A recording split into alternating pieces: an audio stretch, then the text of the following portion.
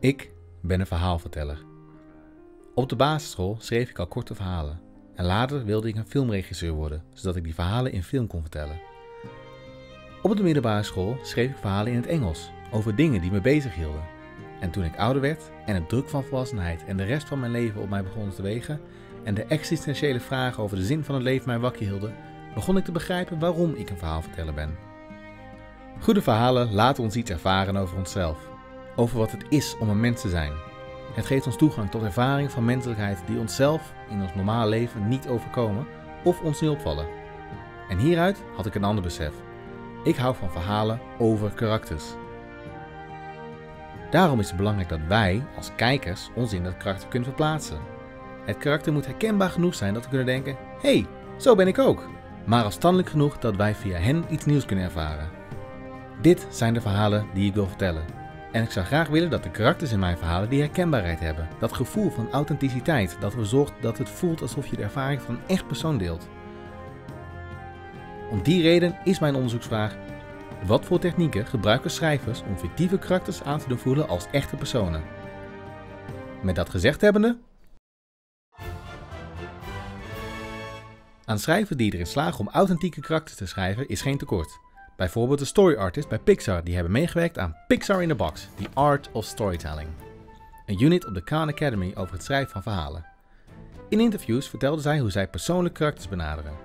I think actually I work more externally first now that I think about it. You know, what they're wearing, how they style their hair, and that kind of informs internally what's going on. I will pretend like I'm having a conversation and getting to know a friend and think, okay, well, what do they like to do? What, do, what are their beliefs? What do they enjoy? What do they not enjoy? Characters have to come from authentic human emotions and experiences. Listen to that little voice saying, oh, that's just like what my mom used to do, or oh, that's just like this friend I had in high school, or um, oh, my little brother was like that when we were growing up. Remember, the more you know about your character, the more real that character will feel. Een belangrijk punt dat zij maken is dat de meeste karakters voortkomen uit je eigen ervaring met mensen. De dingen die je in andere mensen ziet zijn de beste beginpunten voor goede karakters. Dus techniek 1: baseer je karakter op dingen die je in echte mensen ziet. Daarnaast noemen zij nog een tweede techniek. Weet veel over je karakter. Gelukkig gaven de Pixar-schrijvers nog een aantal leidraden om onze karakters beter te leren kennen. Een van die leidraden is een schrijfoefening, met het doel om te ontdekken hoe het karakter reageert op een stressvolle situatie. Stel je je karakter voor in een lift. Het maakt niet uit of een lift logisch is in de setting waar je karakter vandaan komt, het is een retorische lift. Dan komt de lift stil te staan en je karakter zit vast. Wat doet hij? Raakt hij direct in paniek of blijft hij rustig? Wordt ze boos? Gaat hij op zoek naar een oplossing en zo ja, wat voor oplossing?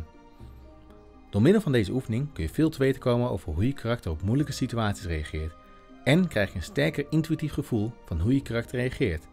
En zodra je intuïtief kan bedenken hoe je karakter reageert, weet je dat je je karakter goed genoeg kent.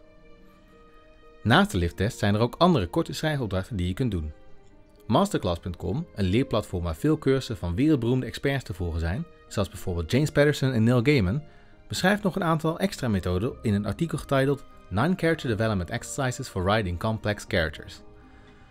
Hoewel het artikel geschreven is door masterclass staff, beschrijft het een aantal goede alternatieve oefeningen, zoals bijvoorbeeld je karakter mee het eten nemen en ontdekken hoe zij zich zouden gedragen onder vrienden. Ook raden zij aan je karakter te tekenen om een fysieke beschrijving te krijgen van je karakter. Dit sluit goed aan op wat Afton Corbin beschreef in Pixar in the Box. Zij begint graag met de externe eigenschappen van het karakter, want hoe zij eruit zien en hoe zij zichzelf kiezen te presenteren, laat je al een hoop weten over dat karakter.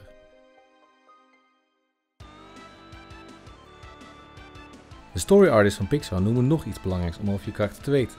Wat zij willen en wat zij nodig hebben. Wat je karakters willen is wat hen motiveert om te handelen. Barley Lightfoot uit Onward bijvoorbeeld wil een sterke band met zijn familie. Dit motiveert hem niet alleen om op de quest te gaan om zijn vader terug te krijgen, maar motiveert hem ook om zijn best te doen voor zijn kleine broertje Ian. Wat je karakter nodig heeft aan de andere kant, is waar het karakter doorheen moet, wat het karakter moet meemaken en beseffen om wat zij willen te kunnen krijgen. Judy Hopps in Zootopia gelooft in een wereld waar iedereen kan zijn wie zij willen zijn, onafhankelijk van of zij nou een roofdier of prooi zijn. Als politieagenten wil ze opstaan voor de onderdrukte dieren van Zootopia. Maar er leven vooroordelen onder de inwoners van Zootopia, die een hoop dieren daarvan weerhouden. Dit kent zij maar al te goed, want als klein konijntje wordt haar constant verteld dat zij niet in staat is om haar doel te bereiken. Hoewel Judy de vooroordelen tegenover kleine diertjes zoals zichzelf maar al te goed kent, leeft er een tweede vooroordeel wat minder duidelijk naar voren komt. Dit vooroordeel is precies waar de ware antagonist van het verhaal op speelt. En dat is dat roofdieren gevaarlijk kunnen zijn. Dat er ergens diep in hun nog steeds een gevaarlijk dier kan schuilen. Zonder het te weten draagt Judy zelf dit vooroordeel met zich mee. Ze heeft tenslotte nog steeds een blikje met antivosspray aan haar riem. Wat Judy nodig heeft is het besef dat zij onbewust meedoet aan dit vooroordeel. Zij moet leren eroverheen te stappen. Alleen dan pas kan ze een beschermer worden van de gelijkheid en vrijheid onder de dieren van Zootopia. In mijn zoektocht naar hoe realistische karakters geschreven worden, heb ik veel films en series gekeken. En in de meest succesvolle karakters is mij iets opgevallen wat ze allemaal gemeen hebben. Alle karakters hebben een duidelijke lens waardoor zij de wereld zien en kiezen hun handelen door middel van die lens. Wat bedoel ik hiermee? Met de lens bedoel ik de manier waarop de karakter naar de wereld kijkt en deze interpreteert. Deze lens kan de oorzaak of het gevolg zijn van wat het karakter gelooft over de wereld. Bijvoorbeeld, Barley bekijkt de wereld door de lens van zijn spel Quest of Yore en daardoor gelooft hij dat ieder probleem overkomen kan worden. Een geloofwaardig karakter heeft vaak ook een aantal waarden die aan de grondslag liggen van die lens. Judy Hopps bijvoorbeeld heeft als grondwaarde dat iedereen moet kunnen zijn wie zij willen zijn en gelooft dat zij ervoor kan zorgen dat dit zo is. Deze twee maken allebei deel uit van haar lens. Het is daarom belangrijk dat schrijvers deze lenzen, waarden en geloven vroeg in de film zo duidelijk mogelijk maken. Wanneer Judy zichzelf door de academie heen sleept en het beste haalt uit haar positie als parkeeragenten, begrijpen wij dit omdat wij goed snappen hoe zij naar de wereld kijkt. Totdat we haar lens goed snappen, voelen we met haar mee.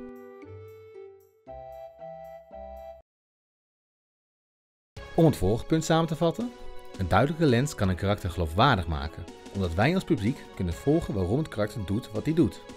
Daartegenover staat dat als schrijver je dit karakter wel consistent moet houden met die lens. Want net zoals dat die consistentie het karakter geloofwaardig maakt, kan inconsistentie het karakter ongeloofwaardig maken. Dit is vaak wat mensen bedoelen als zij klagen dat een handeling out of character is. In een verwijderde scène uit The Return of the King, vlak voor het gevecht bij de Black Gate, staan Aragorn, Gandalf, Gimli en Legolas tegenover de Mouth of Sauron, de boodschapper van Sauron. In dit gesprek vertelt de boodschapper een leugen dat zij Frodo en Sam gevangen en doodgemarteld hebben. In reactie daarop stapt Aragorn naar voren en onthoofdt hij de boodschapper.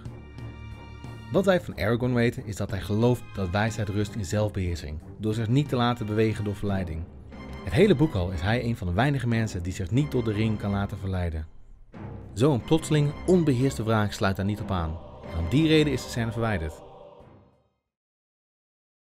Het is dus duidelijk dat de karakter consistent moet blijven met de geloof en waarden die je als schrijver voor een opzet. Maar als dit zo is, hoe kan een karakter zich dan ontwikkelen? Als het karakter aan het einde van een arc nog steeds hetzelfde gelooft als in het begin, is karakterontwikkeling dan mogelijk? Het antwoord is ja, maar om dit goed uit te leggen, laat ik een voorbeeld zien. In mijn mening heeft Shira en de Princesses of Power een van de beste voorbeelden van een karakter wiens lens goed gebruikt wordt. Dus laat mij het hebben over Scorpia. Scorpia verschijnt voor het eerst in de vijfde aflevering van het eerste seizoen. Zij is een van de hoogst geplaatste officiers in de Horde en, verrassend genoeg, een optimistische, vrolijke knuffelaar. Just so you know, I'm a hugger. Zij wordt aangesteld door Catra, de ex-beste vriend van Adora, die nadat Adora overgelopen is, in haar plaats gepromoveerd was, in de gaten houden en te verzekeren dat ze haar missies goed uitvoert. Al direct wil Scorpia niks liever dan met Catra de vriend zijn.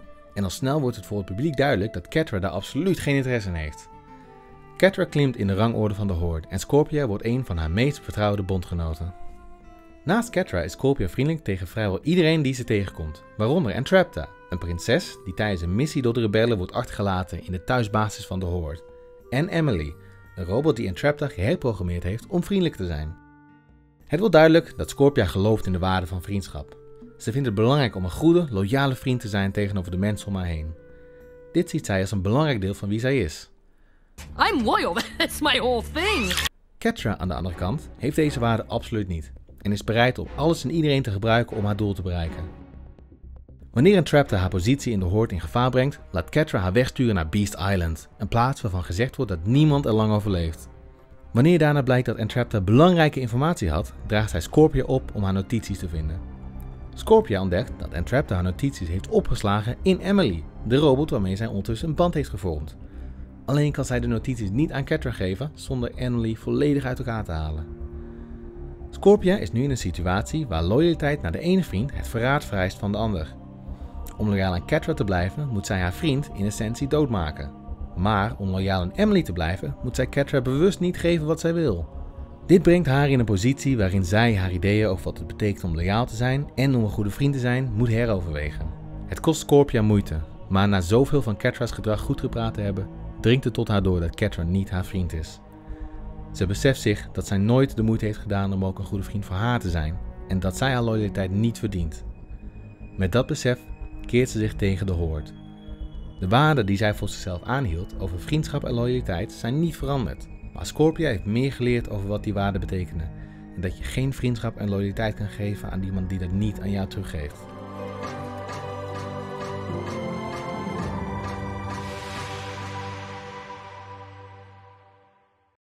Na al deze karakters te hebben geanalyseerd, heb ik ongetwijfeld veel geleerd over wat karakters geloofwaardig maakt. Maar heb ik de oorspronkelijke vraag beantwoord? Ter herinnering, de vraag was: wat voor technieken gebruiken schrijvers om fictieve karakters aan te doen voelen als echte personen? Het antwoord op deze vraag is dus een lijstje met technieken, dus laten we op die manier terugblikken. Techniek 1. Baseer je karakter op echte personen. Gebruik maken van dingen die een echte mens ziet kunnen een basis vormen voor authentieke karakters. Techniek 2. Ken je karakter. Het is belangrijk om je karakter in en uit te kennen en een goede intuïtie te hebben over hoe je karakter reageert op omstandigheden. Om dit voor elkaar te krijgen kun je oefeningen doen als de lifttest, waarin je een kort verhaal schrijft over je karakter die vast komt te zitten in een lift. Teken je karakter en ontdek hoe je karakter kiest om zichzelf te presenteren. Ontdek wat je karakter wil en wat je karakter nodig heeft. Of schrijf andere korte verhalen, zoals een verhaal over je karakter die uit eten gaat met vrienden. Techniek 3. Bedenk door welke lens je karakter de wereld ziet. Ontdek wat je karakter gelooft en wat voor ervaringen dat geloof geschapen hebben. Ontdek hoe je karakter naar de wereld kijkt en welke rol zij daar zelf in spelen. Ontdek ook wat voor grondwaarden dit karakter heeft. Laat het karakter handelen volgens die lens. Dit zorgt voor een gevoel dat de karakters acties natuurlijk zijn voor het karakter en niet een noodzaak van de schrijver om een verhaal voor te duwen. Techniek 4. Introduceer die lens zo vroeg mogelijk en zo krachtig mogelijk. Hoe duidelijker dit is voor het publiek, hoe meer het karakter een gevoel van identiteit opwekt. Techniek 5. Als je die lens wilt veranderen, doe dat dan door het karakter te laten inzien dat een van de geloven of waarden niet kloppen. Al met al ben ik blij dat ik de tijd genomen heb om hier eens op in te zoomen. Ik heb een goede lijst met technieken gevonden die ik in mijn achterhoofd zal houden tijdens het schrijven van mijn volgende karakters. Schrijven blijft altijd de kunstvorm en het is niet af te breken na een stappenplan. Maar met deze inzichten verwacht ik een betere intuïtie te kunnen ontwikkelen over hoe je karakters kan verheven tot een levend persoon. People, not characters.